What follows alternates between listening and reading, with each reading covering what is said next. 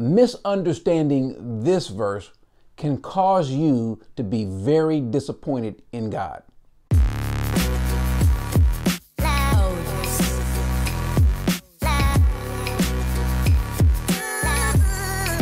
When I was a little boy, even before I was a Christian, I didn't grow up in church, but I knew this particular verse and thought it was a pretty good verse, and I've heard it a ton of times ever since. And that is Philippians 4:13. I can do all things through Christ who strengthens me. The problem with this particular passage is misunderstanding this verse can cause you to be very disappointed in God.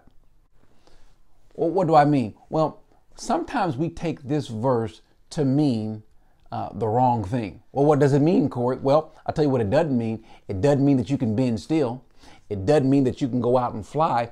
It doesn't mean that you can actually call something that is not existing into existence. It doesn't mean that you can, uh, at age 60, go out and win the 100 meter dash in the Olympics. It doesn't mean that you can do whatever you want to do as long as you're in Christ. No, that's not what it is. It's not a, it's not something that gives you superhuman power or supernatural abilities to do things that you just aren't supposed to be doing. That's not what this passage is for. Notice Paul is talking about how he's gone through so many different things. Let's look at the passage and see if we can, in context, understand what Paul's point is. In chapter 4, verse 11 of Philippians, Paul says, Not that I am speaking of being in need, for I have learned in whatever situation I am to be content.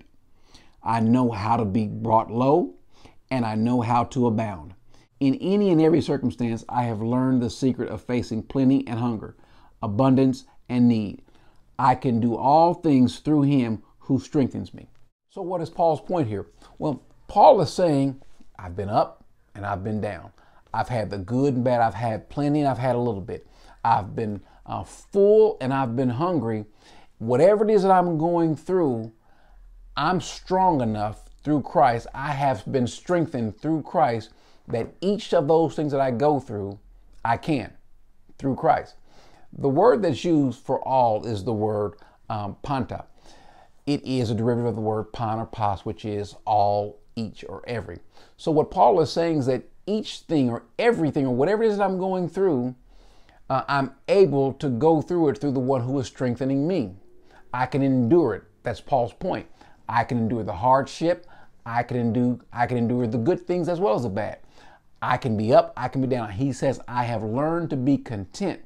And knowing this, I know that God is going to bring me through. And so, whatever the situation is, I'm going to be able to make it. Paul is not saying this to say that I'm going to defeat whatever comes against me. Paul's saying that whatever is I'm going through, I'll be able to endure all these things.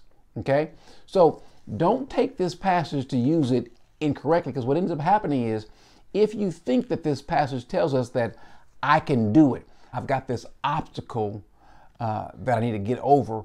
And I know the pastor says that I can do all things, and so I'm going to be victorious in this this endeavor.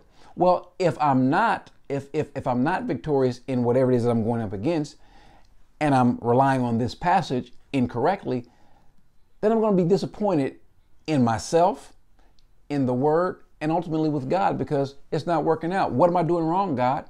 What's happening? And so the point of the passage is to get you to understand that it's not saying that you can be victorious in all things. It's that you can make it through, that you can endure all things. How? Through Christ, who has given you the strength to endure those things. Amen.